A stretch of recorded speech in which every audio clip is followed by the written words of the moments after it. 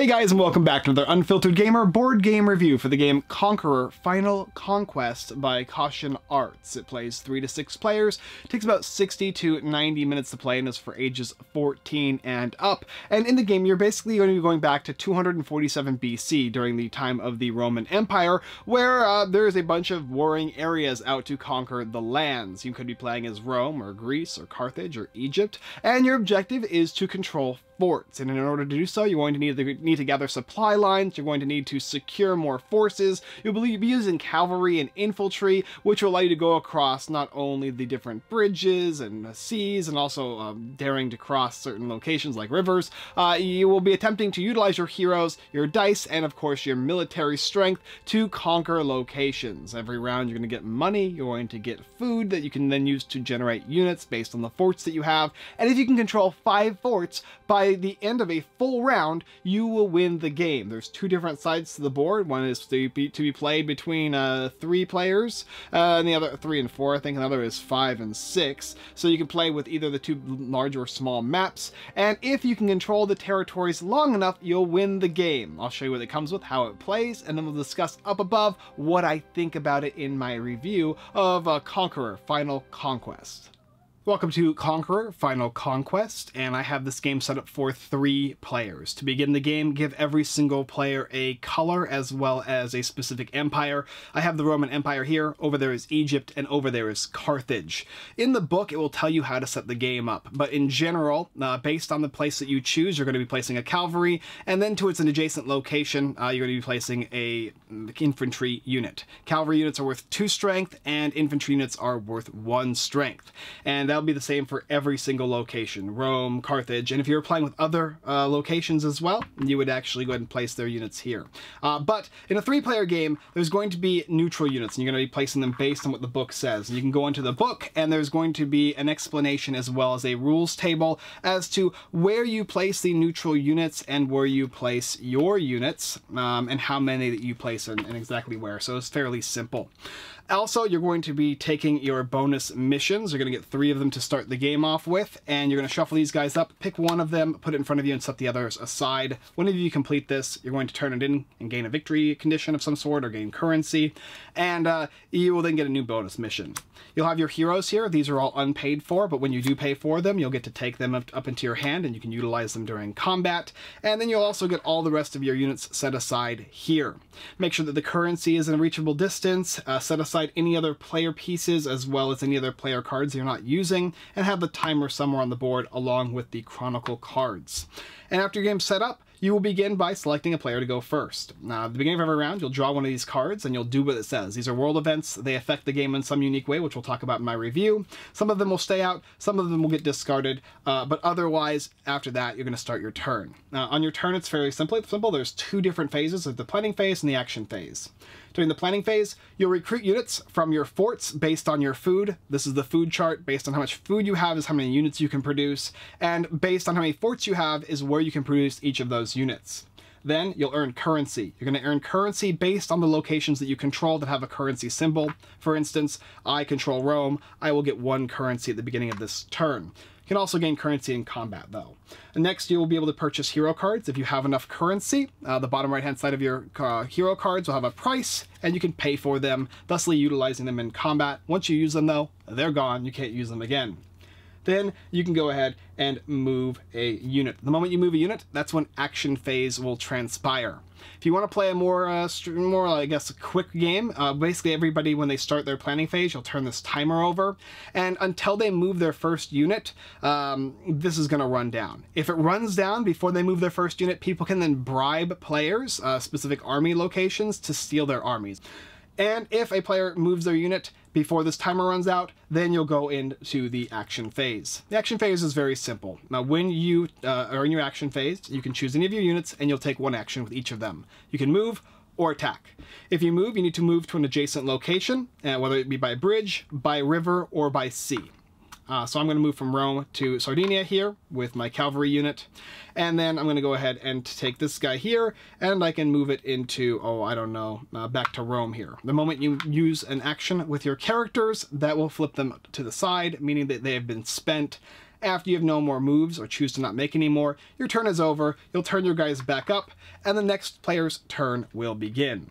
Uh, the other action that you can take on your turn, so I'll go ahead and just take his turn here, Egypt, he'll get one currency, he's also going to get to place one of these guys here and one of these guys here, um, and he's not going to buy anything else, he'll just simply start moving, is if, if he's fighting. So for instance, if there's uh, people here in Syria, I can have my troops go in to fight, so they'll basically say, oh, we're going to go attack here, and it's a pretty simple idea of how it works. You're going to get uh, points based on your units. Uh, every cavalry is worth two, infantry is worth one. So in this case, my force of two cavalry units is four.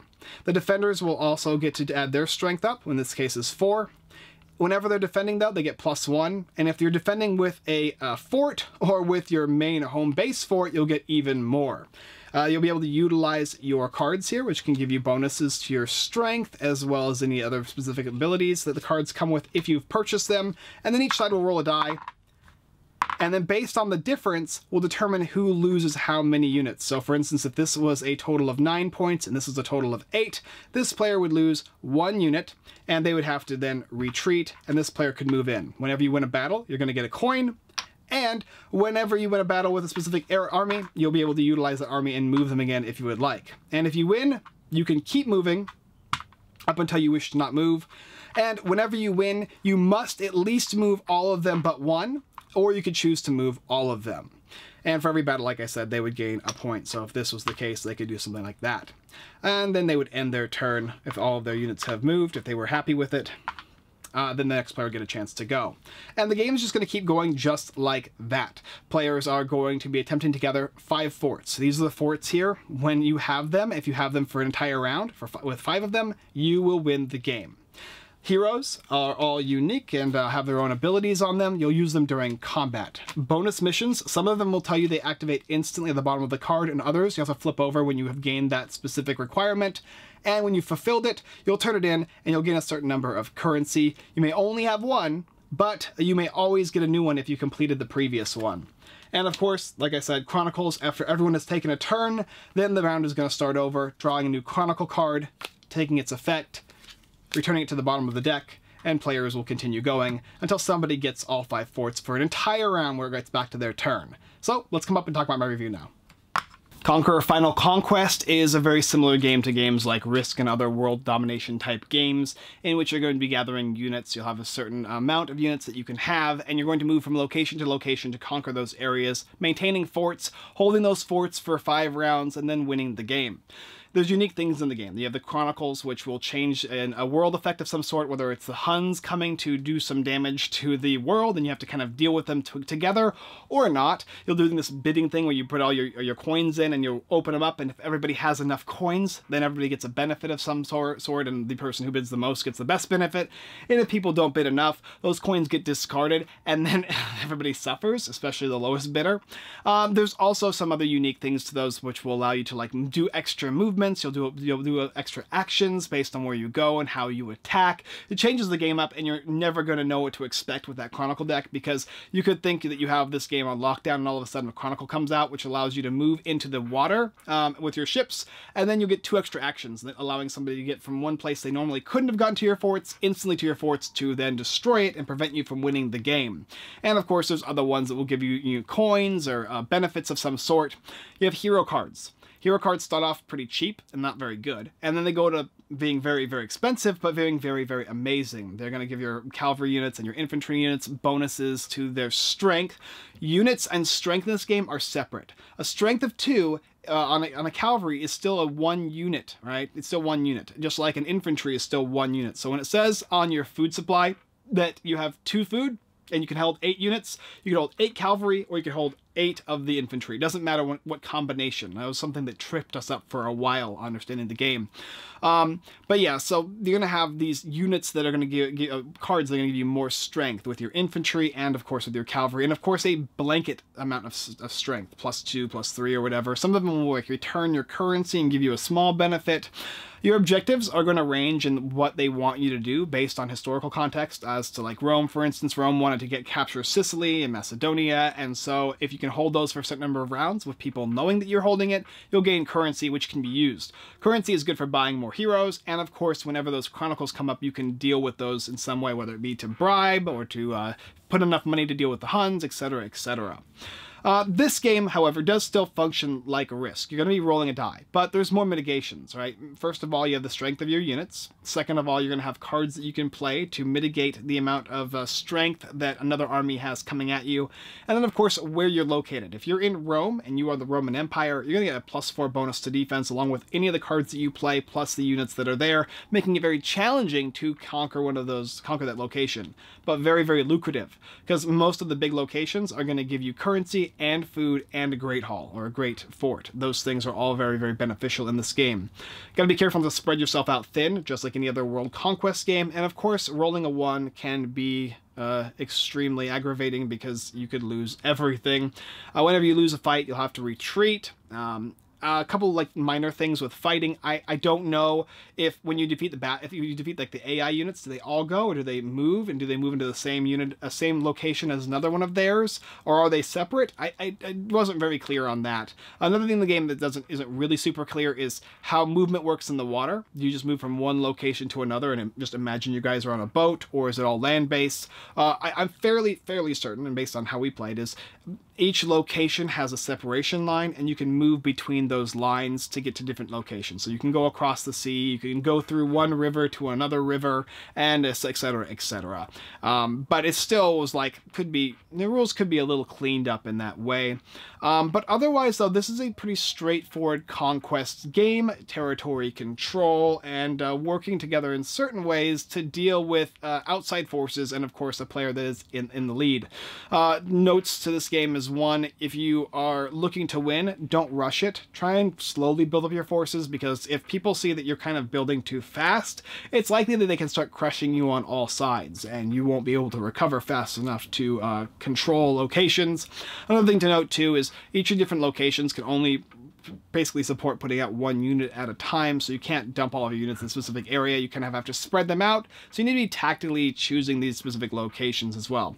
If you like games like Risk, but you want a little bit more strategy, a little bit more options when it comes to combat and straightforward um, spaces that you you know you know where to go and what's your, your benefit and your mitigation, this is going to be a game I would suggest taking a look at. If you like games that involve the Roman Empire, ancient Greece, and Egypt, etc., etc., this is also going to be a really cool game. I personally really, really like themes like this. This is probably one of my favorite themes from board games is ancient Rome, pagan culture, pagan history, and this does a very good job of explaining that and showing all the different locations and land at that time and how people controlled what areas, and even the cards and uh, everything are kind of associated with the game as well. But of course, people who do not like games that involve rolling dice and luck, and of course the Chronicle cards can give uh, certain players a benefit when they're uh, behind, or even when they're ahead, it can kind of help them win more. It's just random as to what cards get drawn, and how that's going to work out for you.